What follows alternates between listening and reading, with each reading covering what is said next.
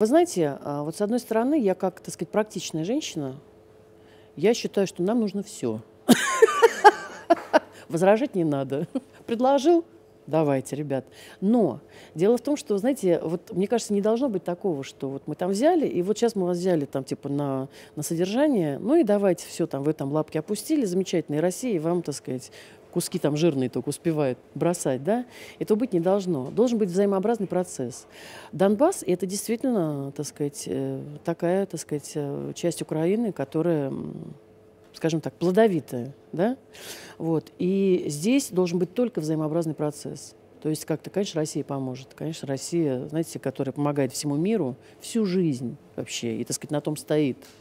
Вот мы горды этим, мы сильны этим. Сильны именно своей помощью, тем, что мы безотказны.